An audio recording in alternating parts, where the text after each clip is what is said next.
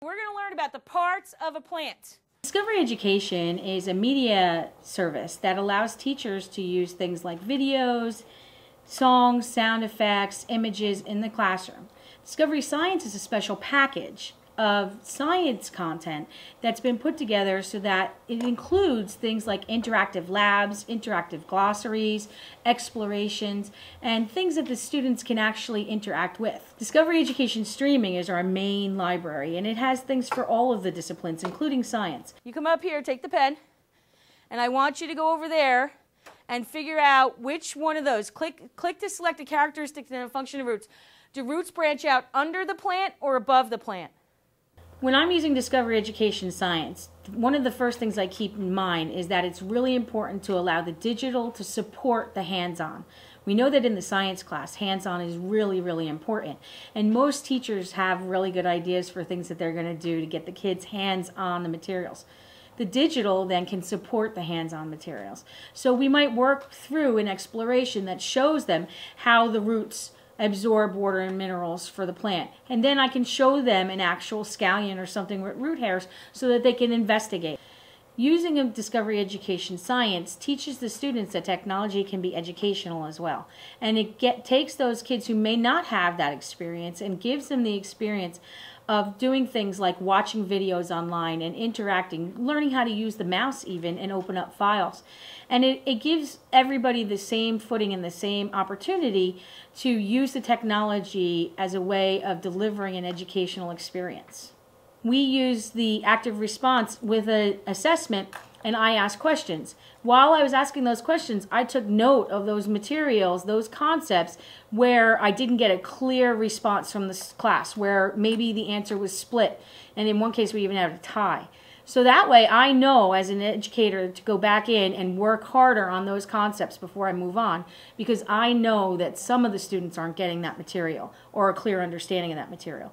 So the student uh, um, assessment manager allows me to both create the online assessments to do either individually or up in front of the class and then use the data to change my instruction if need be, reinforce instruction and remediate and or move on if we're good at, with what we're doing and we can go to the next concept.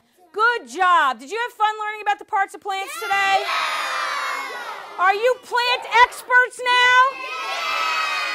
Jefferson Parish has been using Discovery Education for quite a while.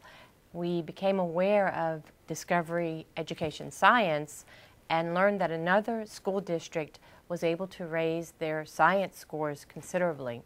So we decided to do it as a pilot and this year we're doing 14 schools a mixture of elementary and middle schools because that's where the focus is for the science. In our trainings, in our professional development trainings, we guide the teachers into, first of all, the necessity of doing it, um, the good instructional practices and techniques that will help them do it, and then we show them the step-by-step -step instructions and the nitty-gritty on how the technology works. I've become more comfortable with using the program and um, so now I'm able to give them assignments online that they can go and use at home and they're excited to go home and see what's in their mailbox. They can't mm-hmm. see they can't wait to see what's going to happen next.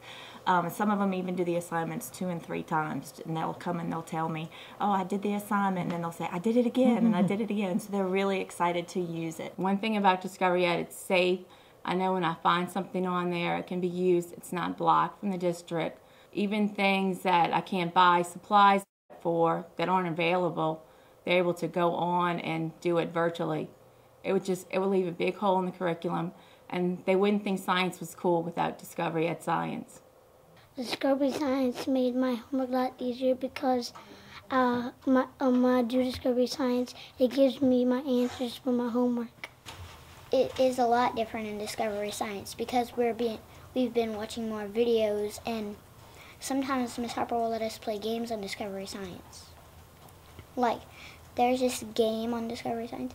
It's called I Know It, where the, yet there can go up to four characters. There's this moose. He, he asks you a lot of questions about the topic you picked. And if the person gets, if the first person to try gets it wrong, then it goes to the next player. And then if that person gets it wrong, then it goes to the next player.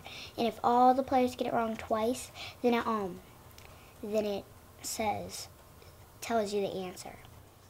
Usually I start off with two of the, a couple of the vocabulary words, and then I go on to either an ebook or an e-reader. And sometimes, just occasionally, I'll go on to a video near the bottom. Just occasionally. Building your lessons so that they include hands-on components and digital media and the use of the technology, the interacting with the machines and each other, the collaboration and the problem-solving skills is the best way to prepare these 21st century students for their future. I'm going to conduct you. You ready? Roots. Tubes up. Leaves. Make your food. Push the food down. Everybody do it at the same time.